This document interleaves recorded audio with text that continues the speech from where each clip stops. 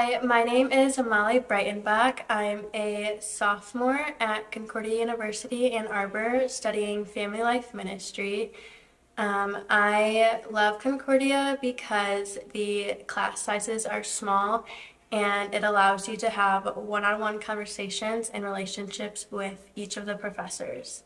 My youth pastor, Eric Steinke at St. John's Lutheran Church in Adrian, Michigan, inspired me to become a family life minister. Um, I'm most excited about using my knowledge that I have already and the knowledge that I will continue to learn um, to be able to help families and students um, build their faith with Christ and build their faith at home as well.